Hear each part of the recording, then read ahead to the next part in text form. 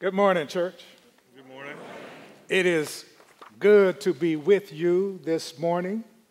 It seems it's been a while since I have been standing in this pulpit, but I am pleased and grateful for this opportunity because I have a few things to say. I just got back from a vacation, church. I don't ordinarily take fun vacations. Well, excuse me. I visit relatives. and we have our times, yes, yes. But, but this time, uh, the chief operating officer of our home, uh, I call her that because she does not want me to say her name, and I will not do that. But she's cool. The chief operating officer of our family said, Let's go have some fun before we go see relatives. And I said, Okay. And uh, of course, I said okay with some reluctance because I didn't know what the definition of fun meant to my chief operating officer. But she knew one thing about me that I will not turn loose I am a baseball fan. I love baseball, minor league baseball, major league baseball, it's me, right? So she said, You want to go to a major league baseball game? I said, Well, of course. And so she said, Let's go see the Texas Rangers. Well, okay, all right, you know, Rangers. They do have an African American manager. One of two, I think, in the major leagues. But they've been in the World Series often. So I said, okay, good, that's good. But knowing that I'm the only one in my family who likes baseball, I was still a little, well, how, are we going to do this? Because we have two children who are teenagers and they don't like to be around us anyway,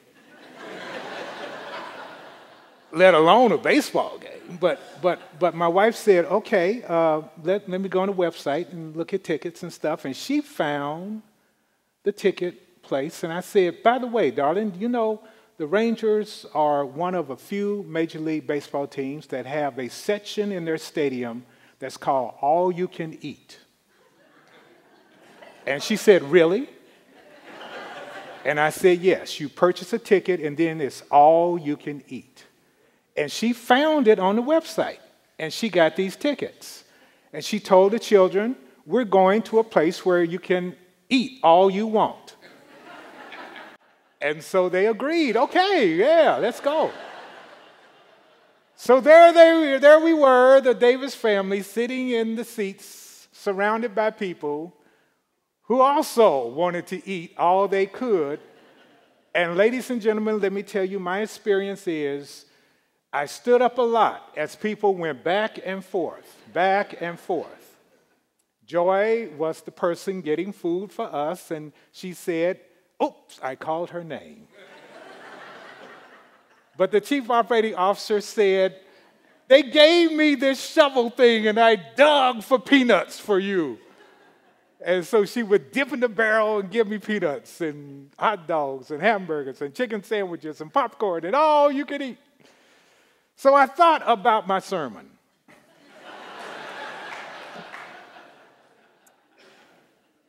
Gluttony, my friends. Gluttony has to do with an insatiable appetite. Now, let me say very quickly that gluttony is not obesity. You know, sometimes we get the two confused, and we think because someone is plump, they're gluttonous. Not true.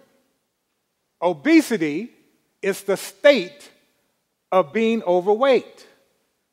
Now, one becomes overweight for various reasons, including improper nutrition, lack of exercise, and a chemical imbalance. All three of those are reasons, and sometimes they're combinations of someone being overweight. Now, if one is gluttonous, I believe you can be obese, but as I said, if you're obese, you're not necessarily gluttonous. See, gluttony has to do with attitude, it has to do with how you approach food, it has to do with how you think. And obesity is just the state of things. But because I like to deal with those areas that are dark, shadowy, unseen, and definitely not talked about, I got all into this gluttony thing. I said, okay, all right, let's see. Gluttony is an old, old word. It's an ancient word. It's a word that people came up with to describe something that not just what they saw, but something that went into what they saw. Right? So gluttony is ancient, and I want to bring us up to a place where we understand a little bit about that gluttony before I take off somewhere else. So let's go back here to this gluttony. You know, in my research on this whole seven deadly sins thing, I found that the seven deadly sins that Christians hold too dearly were actually appropriated from another source. Now, I don't know if the other speakers, I've tried to listen to the other preachers, but like I said, I was on vacation, so I, I, I wasn't thinking about this so much. But let me share something with you. There was a uh, cult right around the first century, same time that Christians were getting together around who we are and who that guy Jesus was, and we want to carry on the struggle that Jesus was doing. And so the early church was in the midst of a lot of other cults, hear me now, that were going on at the same time. And there was one called the Mithrais, M I T H R A I S T. That's a person, ISM, guess what it was? Mithraism. Mithraism, because they were worshiping and led by Mithra. All right, so in this Mithraism, these were folks who dwelled in caves and they had their ceremonies inside the cave and they were set apart from the rest of people, right? But they had some interesting similarities to this thing called Christianity. Very interesting. Well, one of the things that they talked about is that when someone dies and there is this dead soul that is ascending to another place, a place of heavenly proportions, it has to pass through these different levels. And as they pass through these levels, they drop off that kind of countenance that what's around them because they are leaving this earth and moving on. So they would pass through these different uh, levels, these different heavenly orbs. So they, the dead soul begins the journey through the gates of Capricorn. And the dead soul moves toward the sun where lets loose this thing called pride. Moves on toward the moon where this thing called envy drops away. Moves on toward Mars, where anger falls aside. Moves to Mercury, where greed falls away. Moves to Jupiter, Jupiter, where ambition falls. And then Venus, where lust reluctantly leaves. and finally, through the rings of Saturn, although they didn't know they had rings in those days, where sloth drops. Those were seven evils that sound similar to the seven deadly sins. And this was in Mithraism. So I'm saying to you that maybe our burgeoning Christian folk looked over there at the Mithrais and said, hmm, but did you notice that you didn't hear gluttony? No, the only one that wasn't there. But what you did hear was ambition. Ambition. So maybe our ancestors in the Christian tradition said, now, okay, uh, maybe there was some Jay Z folks, you know. They said, well, ain't nothing wrong with ambition. You know, I guess if you get too much, you might get fat. Well, that's what we'll get mad at. We'll get mad at the corpus body, the corporal, the, the, the plump. We'll just tag that and say that's gluttony. Now I'm just saying, maybe that was going on. But there, there was a time when people talked about Mithraism with a little bit more frequency than we do. As a matter of fact, a young seminarian wrote a paper in 1949, so it wasn't me. But in 1949, in his first semester of his second year of seminary, young Martin Luther King was in a class. And young Martin Luther King was reading about Mithraism, and he saw similarities. He saw, well, Mithra was born December 25th. Hmm. He said, well, look, there's also, they do baptism and meal sharing. That's very important sacraments for them. Hmm. He said, and, and, and you know, Sunday is their day of worship. Hmm. So he wrote this paper. Martin Luther King wrote this paper, and he talked about how the influence of Mithraism was to Christianity. And I want you to listen to our good sister, Reverend Tamara, as she reads two paragraphs from his extensive paper, which, by the way, his professor wrote. And by the way, you may ask, well, Gerald Davis, how you know all this? well, as my brother said, because of the internet, there is no excuse to be dumb. so if you go, if you don't believe me, go Google, and if Vero, if Vero Goodman is here, he's doing it right now. But, but go ahead and Google Mithraism, comma, Martin Luther King, and you'll see the original paper that's at Stanford University because they have the Martin Luther King Jr. Education and Research Institute at Stanford, all of his papers, right, are at Stanford University, and they have scanned his paper with the comments from his professor. His professor wrote several glowing comments about this paper. But the thing that I'm taking away from this, he says, you know, you've done the research, you've done it. He says, but the one thing, you are a very good writer. And if you are willing to pay the price, you will go far. That's interesting. So I want Sister, S- Sister Tamara to read his conclusion. It's only two paragraphs, so I want you to hear this. That Christianity did copy and borrow from Mithraism cannot be denied.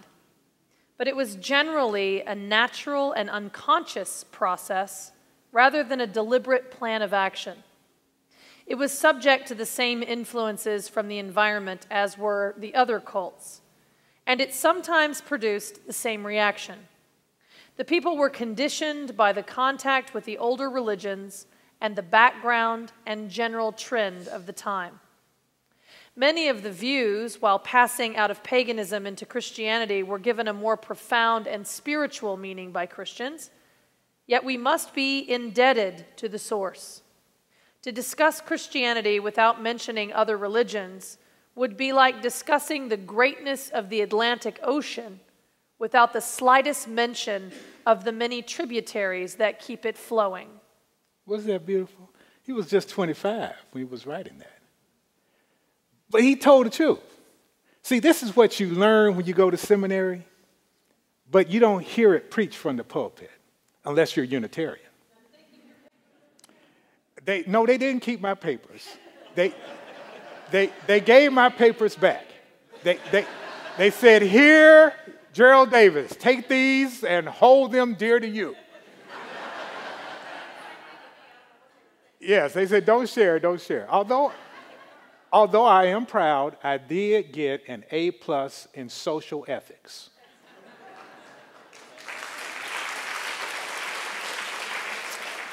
I'm very proud of that grade. I'm very proud of that grade. I was taught by a student of Reinhold Niebuhr, and he, uh, he said, I don't give A pluses, but young man, one day, little did he know. so here's the deal Dr. King, although then he was not Dr. King, he was just a middler, he was a middle in seminary. But he saw the truth of it. But he said we, have, we cannot ignore the sources. It, you know, he's talking about the fact of let's be inclusive. Let's be inclusive. Don't be so exclusionary. Understand that, uh, that, that the, the, the, the, the building of a tradition does not come down all at once. Boom, there it is. It's all there. But you're borrowing, there's cross fertilization.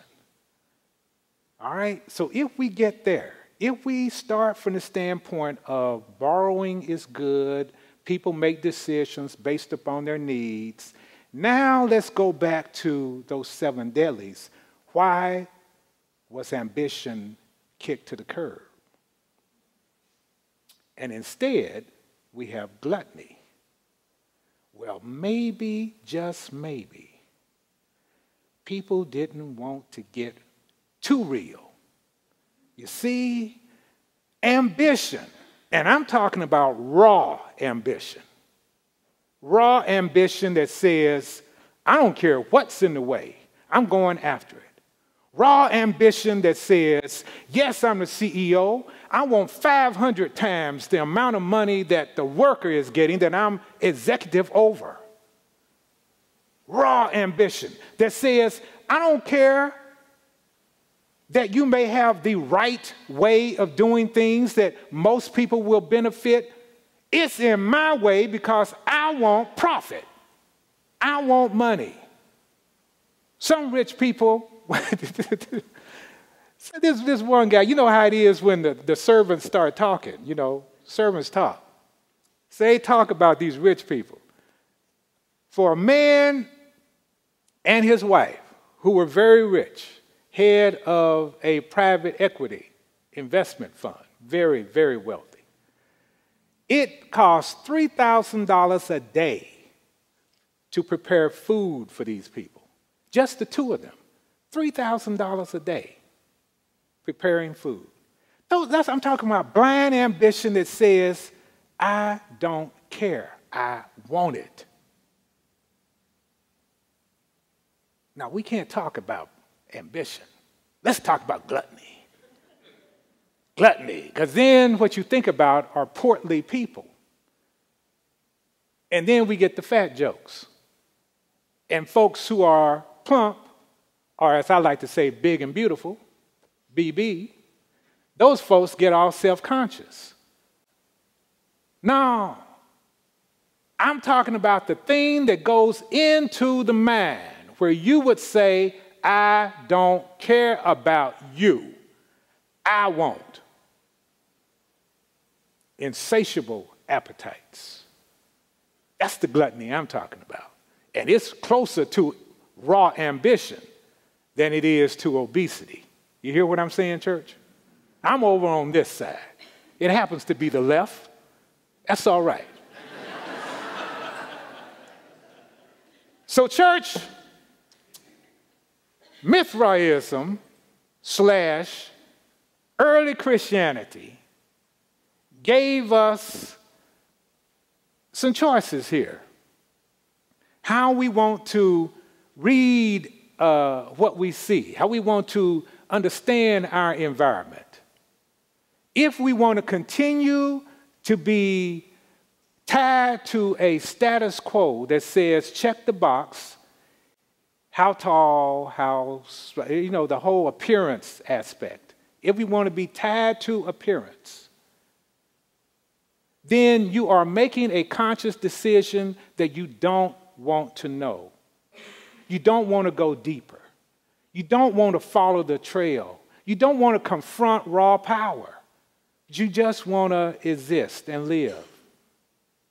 But is that really living? Is that really what we're called to do? You see, out of that tradition of Christianity that, that covers up a lot of question marks, you got to go all the way back and talk about the person who inspired this thing. That's why, right today, I'm more Unitarian than I am quote unquote Christian.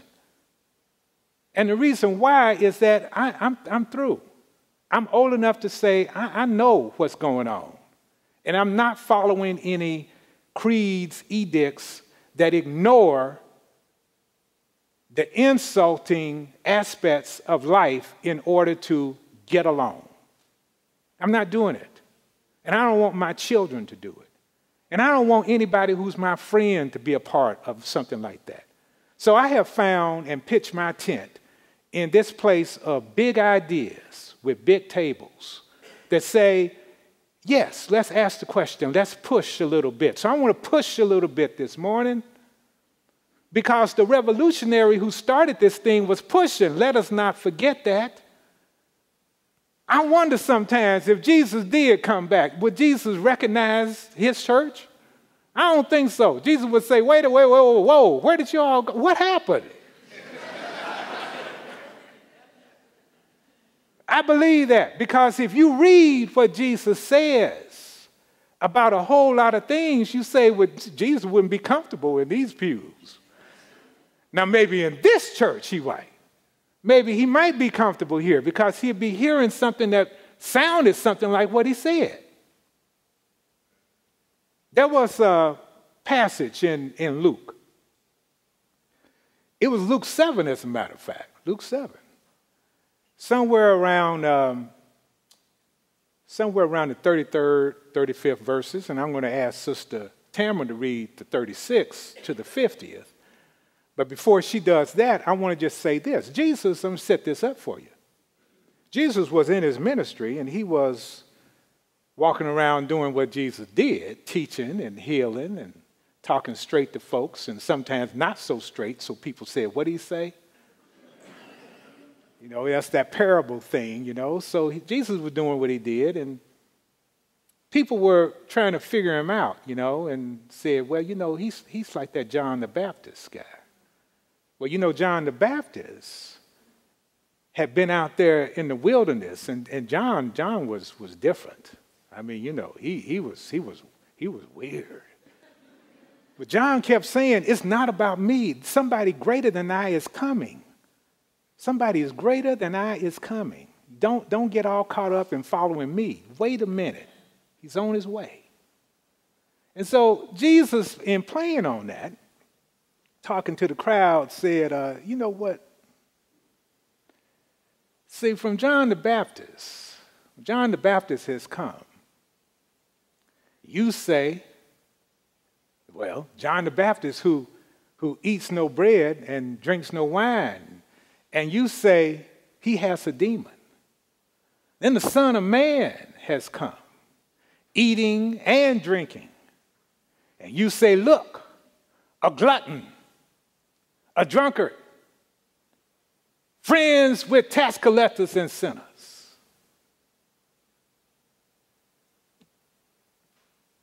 But you know what?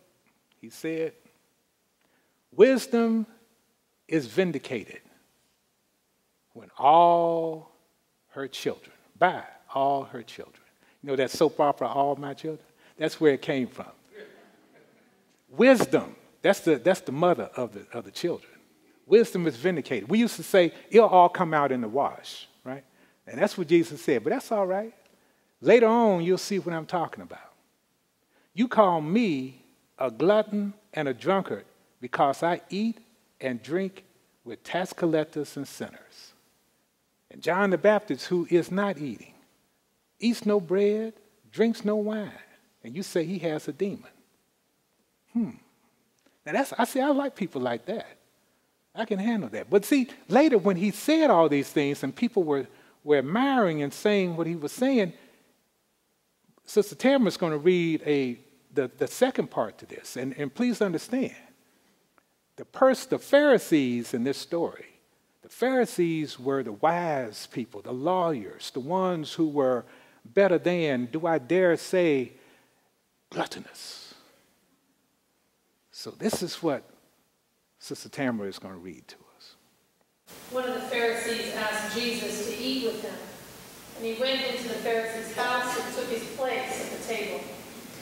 And a woman in the city who was a sinner, having learned that he was eating in the Pharisee's home, brought an alabaster jar of ointment. She stood behind him at his feet, weeping, and began to bathe his feet with her tears and to dry them with her hair. Then she continued kissing his feet and anointing them with the ointment. Now, when the Pharisee who had invited him saw it, he said to himself, If this man were a prophet, he would have known who and what kind of woman this is who is touching him and that she is a sinner. Jesus spoke up and said to him, Simon, I have something to say to you. Teacher, he replied, speak. A certain creditor had two debtors. One owed 500 denarii and the other 50. When they could not pay, he canceled the debts for both of them. Now, which of them will love him more? Simon answered, I suppose the one for whom he canceled the greater debt. And Jesus said to him, You have judged rightly. Then turning towards the woman, he said to Simon, Do you see this woman? I entered your house.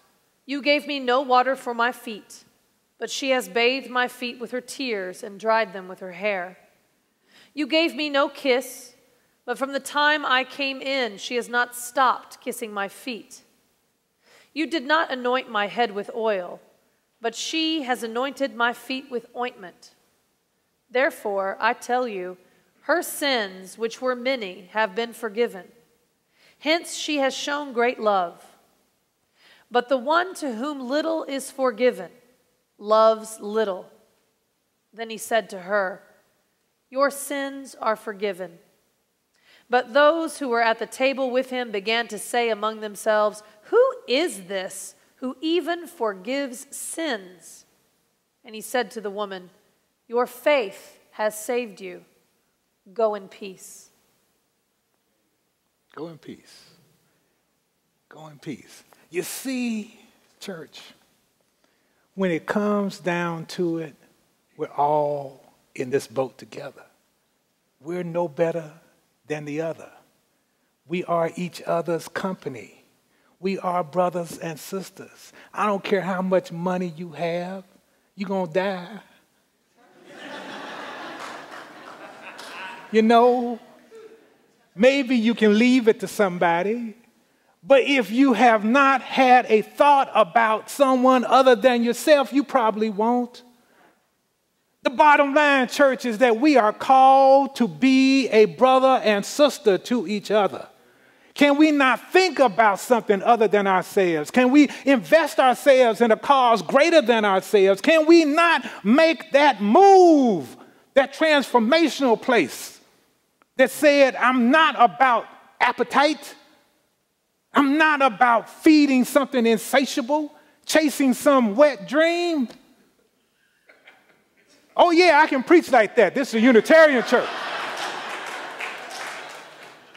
what I'm about is making sure that everything I have is going to go toward a better world.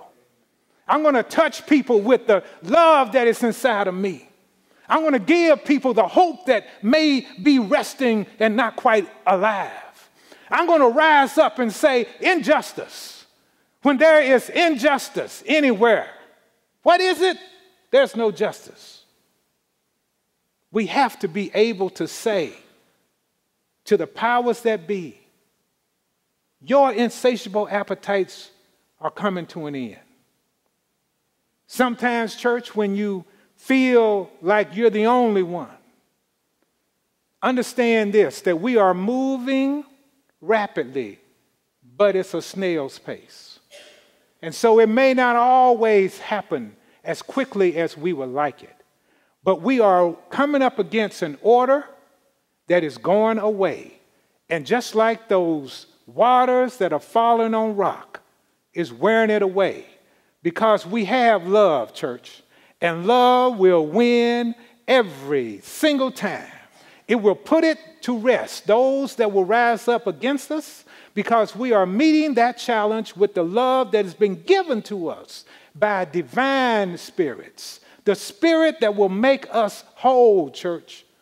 I'm preaching this morning about something that is not about insa- well, it's not about insatiable appetite that makes you big. It's an insatiable appetite that wears you out, an insatiable appetite that leaves you alone, an insatiable appetite that makes you hungry still. Church, it's not about the money, so don't feel guilty if you have more than I do. I'm glad for you. But I want you to understand this. You have to move that money to a place that's going to benefit others. You got to be that way. And that's the leadership this church provides to the rest of this community. When we give away the offering, I am still stunned by that. Give away the offering. Churches are marveling at all souls because it gives away its offering. It says, in fact, we're not gluttonous. We are children of God, and we love hard. Church, that's my sermon. Are we together? Amen.